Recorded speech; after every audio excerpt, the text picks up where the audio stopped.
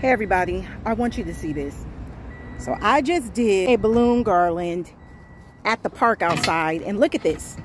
This is my metal balloon garland stand. I've used this sucker for quite a few outdoor events and look what happened. See this part right here? See that? Yeah, that was stuck solid, welded solidly to this metal base and it came clean off. The wind blew the backdrop stand. This pole fell and then it broke clean off. So it's official. I'm going to be getting my pipe and drape as soon as possible. No more of these eFavorMart stands. They have let me down. I mean, I know we're no match for Mother Nature, but this is ridiculous.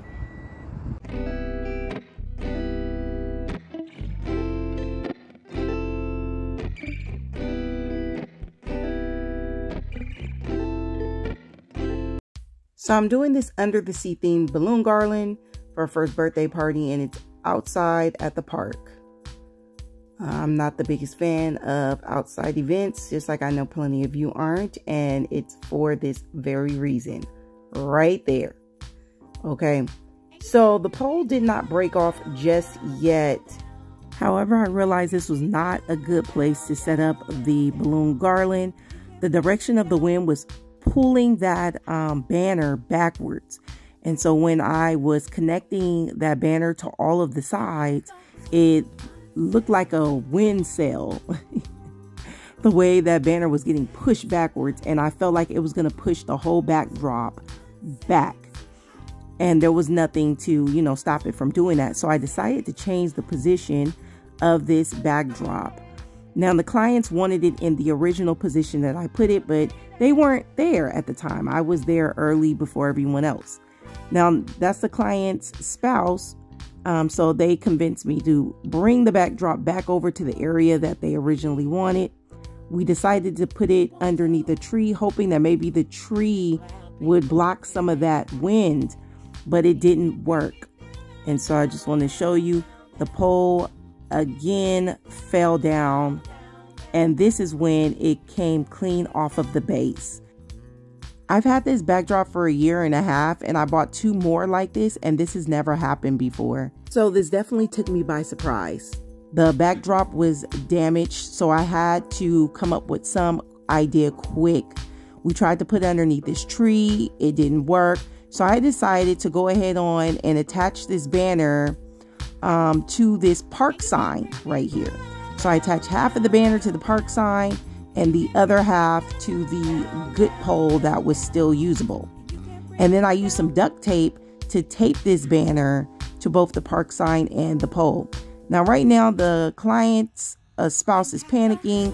He's calling his wife, who was the one who originally booked with me. She's not there yet, and uh, he's kind of speaking in his native language. I don't know what's being said, but um, he's panicking. Of course, I feel the panic inside, but I'm not trying to show it, okay?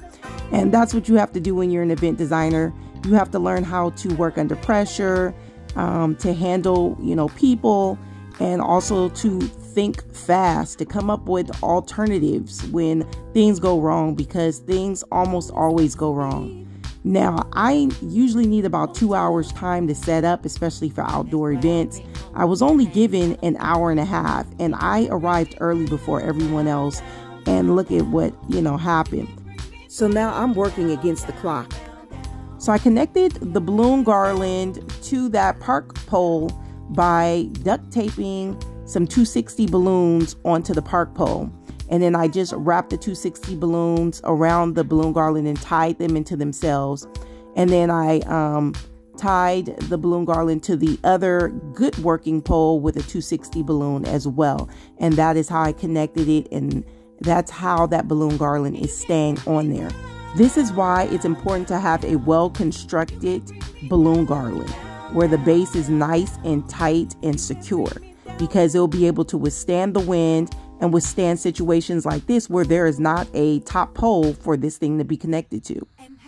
So as you saw, I added a couple more clusters of balloons to the balloon garland using a 260 balloon.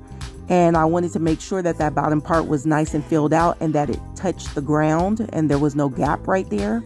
I also added some under the sea theme cutouts that I made with my Cricut machine using some glue dots. And now I'm just adding accessories and things like that to the table. And I also sprayed the garland with some balloon shine to restore the shininess of the balloons. So here's the finished product to my under the sea themed struggle balloon garland setup. but um, honestly, the client actually loved it when she arrived. And when I came to pick up all of my stuff later on that evening, she said she got tons of compliments for it. And she was very appreciative of the, you know, decorations. So I am happy that I got a satisfied client in the end. What this taught me is to be prepared through whatever. Perhaps I can bring an extra pole in case something like this happens. Um, as mentioned before, I am going to be investing in getting me a pipe and drape pole. This was a pole I got from eFavorMart. Uh, it's done me well for many, many events, but I heard that the pipe and drape is more secure, so I'll be investing in that. And I'll let you know how that goes. But for those of you that work in the balloon designing business or any event designing business for that matter, you know how it is, especially with these outdoor events. You never know what may happen. So you always got to be prepared, be able to work under pressure, and be able to think fast. So with that being said, if you enjoyed this video, go ahead on and like it and please subscribe and you'll get notifications on future videos on balloon and event decor. And until next time, I'll see you guys later.